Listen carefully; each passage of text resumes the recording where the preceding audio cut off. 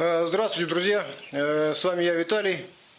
И сегодня, э, буквально с вашего позволения, я 5 копеек своих вставлю в тему «Как изменить свою реальность». Такая тема немножко философская, вы скажете. Она актуальна на сегодняшний день, об этом много говорят, так как она имеет такое практическое применение. Итак, не буду около ходить буквально – свою, свою тему я чуть-чуть вам расскажу, если вам это интересно. Смотрите. У нас существует, называем так, реальный мир. Наша реальность мы называем, да? И действительный мир. Ну и какой-то там э, мир, э, э, мистика какая-то, мистика, иллюзия, скажем так, да, существует. И когда мы говорим, а, как изменить свою реальность, так вот нашу реальность, вот здесь наша реальность находится, в нашем, э, то, что соприкасается со мной лично, да,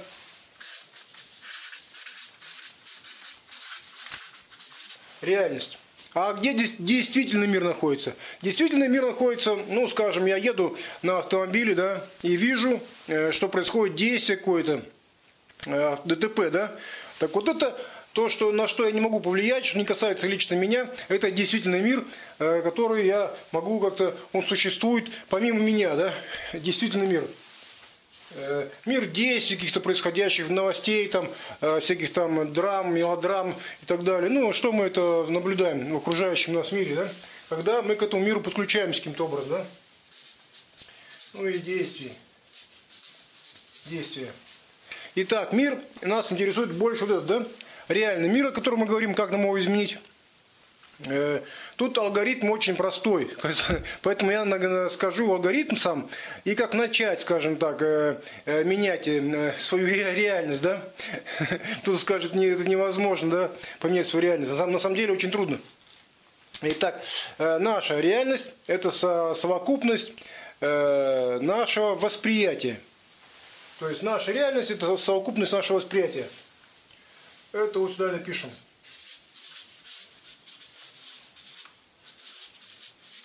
Восприятие. Восприятие у нас, как видите, сразу попадает и э, в сферу э, действий, действий действительного мира, да, э, действительности окружающей, и в нашу реальность. То есть на наше восприятие э, влияет, э, отсюда оказывается влияние, и отсюда оказывается влияние. Таким образом, наше восприятие не совсем э, такое субъективное, оно э, как бы мы не, не влияем на него на 100%, да, на него влияют э, какие-то какие действия в окружающем мире, влияет на наше восприятие. То есть фактор, фактор восприятия. И когда мы понимаем, э, что наш э, реальный мир, наша реальность на 100% это совокупность нашего восприятия, Таким образом, мы приходим к такому простому выводу о том, что наше восприятие – это, опять же, э, э, пять органов э, чувств наших, да? То есть напишем просто цифру 5, да, 5, и ну, как, сюда наше восприятие собирается, да? Ну, чувство напишем, да? Понятно, да? То есть пять органов чувств, которые воспринимает окружающую реальность, э, которая касается непосредственно меня, да, мой внутренний мир, мое внутреннее состояние, э, то же самое все это я ощущаю в ощущениях, там не дано, да, каких-то состояниях и так далее. И на этом песенка наша как бы спета уже да, практически. Потому что на пять этих чувств нам очень сложно э, оказать какое-то непосредственно такое субъективное влияние. Как только мы э, говорим о чувствах, то мы приходим э, к такому, такому сложному э, и такому, такому взаимосвязанному вопросу касаемо, ну там, как его нарисовать, это нашего мозга. Э, то, есть, то есть все пять этих органов чувств, это сложная нервная деятельность, там, э, различные системы. Итак, пять наших органов чувств имеют такую вот они собирают, в совокупность собирают. То есть отсюда собирается, отсюда собирается какое-то восприятие, которое получается, как бы зависит от этих органов чувств, скажем мы, да? И в то же время мы получаем эту всю информацию собирательную в наш мозг. Все. До мозга мы там ничего не можем вообще добраться практически. Никак субъективно на него повлиять э, непосредственно в настоящем моменте мы не можем. Это факт. Это факт. Э, то есть э, все эти исследования, все эти МРТ, компьютерная томография мозга и так далее показывают, что это очень сложно. Таким образом поменять свою реальность. Поменять свою реальность, поменять свое восприятие. И здесь такое слово, которое мы очень любим Э, любим в последнее время, оно часто используется, так как э, современная экономика, современная цивилизация вступает в такой э, этап, такой из потребительства какого-то, переходит в этап впечатлений. То есть вот это все впечатление. То есть и действительный мир, и реальный мир, и такой мистический какой-то мир, там, мир иллюзий, фантазий. Все создает какое-то впечатление нам дают нам. И эти впечатления оказывают непосредственно влияние, помимо, помимо нашего субъективного состояния, оказывают влияние на наш мозг. Сюда впечатление собирается в мозге. А мозг у нас такой интересный, такой интересный орган, такой интересный механизм, который э, достаточно э, независим от нас, да? Потому что он, он как бы говорит, э, черт его знает, что этот человек будет там, э, куда его понесет, лучше я как-то э, сам э, буду что-то принимать какие-то решения там, да? И мозг делится у нас на две части, образно говоря. И об этом все говорят. О том, что мозг у нас имеется сознание, сознательная деятельность, мы находимся в сознании и так далее. И имеется подсознание. Э, ну, можно так написать, подсознание и сознание ну, сознание там, неокортекс там и так далее, которые образуются. Сейчас два слова буквально, извиняюсь, два слова буквально. Э, то есть наша с вами такая задача, э, как оказать влияние на нашу реальность, на наше восприятие и это восприятие поставить в углу угла, это восприятие впечатления. Потому что впечатление оказывает непосредственное влияние на мозг нашему мозгу э, остается э, что делать? А интуитивно помочь вам или, или мне да, помочь э, изменить свою реальность. То есть как бы сформировать другое восприятие, чтобы восприятие было такое как бы более полное, более стопроцентное восприятие. Чтобы все впечатления проходили через наше субъективное сознание, да, все впечатления, да. Мы же не хотим, не хотим все впечатления, чтобы нам попадали, да. Есть позитивные впечатления, да, и негативные, мы об этом много все говорят, да. Есть там э, то, что нас пугает, нас пугает, негатив какой, да, или наоборот, позитив нам дает заряд энергии, да. Мы стремимся к позитиву. Здесь стремимся к позитиву и э, как бы э, хотим отфильтровать негатив или изменить, изменить свое восприятие, мы это называем. Да? То есть наше восприятие должно быть позитивное. Каким, каким образом это сделать? Чтобы изменить свою реальность, нам надо изменить восприятие на позитивное. Чтобы впечатления у нас были все позитивные а плюсом давались, то есть чтобы здесь создавался определенный такой капитал, капитал, э, энергетический потенциал такой был. Сейчас покажу вам этот вопрос, в чем, в чем здесь суть. Суть в чем? В том, что мозг, э, благодаря тому, что мы вот здесь очень, очень такую деятельность ведем, э, нестабильную такую, несистемную, да, и много негатива мы превращаем впечатление в негатив, трансформируем в негатив, эти впечатления не доходят до нас, до сознательного состояния. И, соответственно, э, наша реальность она такая однобокая, серая, там, не цветная, там, какая-то на другого, другого состояния, она какое-то определяется нашим личным отношением к каким-то каким впечатлениям.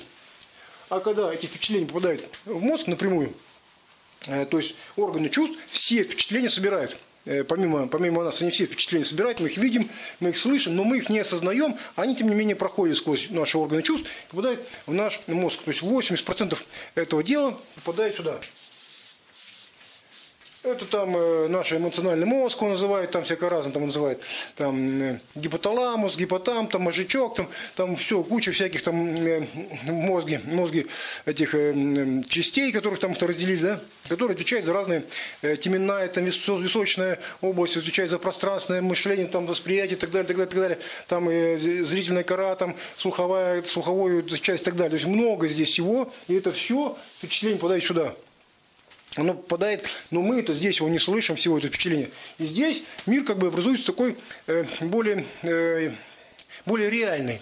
То есть вот этот реальный мир образуется здесь, который мы хотим изменить, да? Мы же хотим увидеть другой мир, другие впечатления, впечатления получить, другие впечатления, другие эмоции, другие состояния, другое качество жизни э, и так далее. А мы не видим его, не видим, потому что мы не все впечатления сюда запускаем. Ну, то есть мы, мы их отсеиваем, мы даем оценку им негативную, позитивную. Мы, мы имеем какую-то свою самооценку, да, которая не соответствует, не соотносится, да, не коллерируется там, да, с разным. Нам здесь, а вот здесь смотрите теперь, сюда мы пришли с 20%. То есть, ну, это даже, даже, даже э, так, э, даже оптимистично, да, 20%, 20%, что мы сюда пропускаем впечатлений которые соответствуют нашим ожиданиям, нашим надеждам, там, нашей вере, нашим убеждениям, нашим ценностям и так далее, нашей какой-то ситуации, в которую мы попали, да, какая-то какая ситуация попали, и мы в ней оказались. И мы сказали, да, нормально, эти впечатления позитивные мы их принимаем, негативные, мы негативные мы отсеиваем, мы говорим впечатления. А мозг все впечатления принимает, потому что здесь, для чего ему нужны все впечатления, весь сбор всей информации, эмоциональной в первую очередь, да, для того, чтобы что, принять решение. То есть решение принимать здесь решение. Вот здесь решения принимаются. Соответственно, здесь вы никаких решений не принимаете. Вы можете только рассуждать, там, размышлять о чем-то, о какой-то ситуации, э, о какой-то проблеме там размышляете и так далее. То есть вы пытаетесь найти решение какой-то э, проблемы, ситуации, да? а решение находится здесь. Вы его не видите. Почему вы не видите? Потому что у вас не, нету, не согласуются эти два, два, два, два, два восприятия. То есть реальность не формируется стопроцентная. То есть у вас реальность 20-процентная. Оно, отсюда информация не может попасть к вам. Ваш исполнительный орган, ваше сознание и ваш ум, исполнительный орган, ум, он не принимает эту информацию просто потому, что она не, со, не состыкуется. Тут мир там прекрасный, красивый, реальный мир – который воспринимается мозгом. А здесь некоторая такая вот эта э, какая-то матрица там да, находится, которую вы сами создали э, с, в обществе, живя, э, как-то развиваясь там какая-то матрица. И эта матрица э, фильтрует определенное восприятие, и вы видите картину мира какой-то, э, ну, скажем, допустим, серого цвета, да? А здесь э, мир такой многоцветный, радужный, да? Соответственно, как вы эти две, две картины мира соединить? Никак не соедините. Поэтому решение находится здесь, и вы пытаетесь его найти решение, и найти решение, используя органы чувств, которые у вас как бы заблокированы восприятием, да? Решение находится в вашем мозге. Всегда. Оно всегда находится в мозге, решение. Не где-то на стороне, не где-то у дяди, у тети, там, не где-то в книжке написано, да. Везде решение здесь всегда находится. И здесь находится мотивация. Всегда, внутри вас находится. Не, не на картинках, не в книжках, не в выступлениях, не в лекциях, каких-то нигде. Всегда находится все здесь. Вам нужно сюда попасть. И тогда ваша реальность, тогда ваша реальность изменится. И моя тоже, кстати говоря. Потому что мне тоже сложно попасть сюда доступ получить. Для этого мы занимаемся таким, такими вопросами, какие мы называем саморазвитие и личностный рост. Вот для этого мы делаем. Понятно? Для этого. Э, и э, что мы для этого делаем? У нас имеется два процесса. Э, два процесса имеется. Процесс первый у нас какой? Процесс. Первый процесс у нас обучение. Обучение, да? Обучение.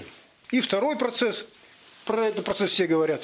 Безусловно, говорят, преуспевающие люди постоянно учатся, они там записывают там блокнотики, идеи новые, там что-то учатся, учатся, постоянно лекции поступают, какие-то семинары участвуют, не знаю, каких-то там в конференциях, какие-то там масштабные мероприятия, или какие-то частные, или закрытые мероприятия, везде участвуют, и все, они пытаются там, и, ну я не знаю, я не, не, не знаю. Второй процесс, второй процесс воспитания. Все. Вы смотрите мой инстаграм, там у меня картинки какие-то там вы, э, вы лайкаете, там, на них не лайкаете, вы думаете, что это картинки какие-то э, мотивационные, как называют. Нет, это не мотивационные картинки. Эти картинки имеют отношение к этим двум процессам. Процессу обучения и процессу воспитания. Э, понятно? То есть вот эти картинки, которые вы видите у меня в Инстаграме, это не мотивационные картинки. Они как бы они создают вам процесс обучения, процесс воспитания самовоспитание, самообучение. И затем уже у вас получается внутренняя мотивация. Внутренняя мотивация. Вот здесь будет мотивация. Не от картинок вы мотивируетесь. Вы мотивируетесь от внутреннего процесса, от внутреннего саморазвития. Поэтому, друзья, э, спасибо вам за внимание. С вами был я, Виталий. Э, Подписывайтесь, лайкайте, комментируйте мои, мои там картинки с надписями. Я буду вам что-то отвечать в, в тему, не в тему, в попад, не в попад. Но, тем не менее, спасибо вам за внимание. Всем вам отличного настроения. Пока-пока.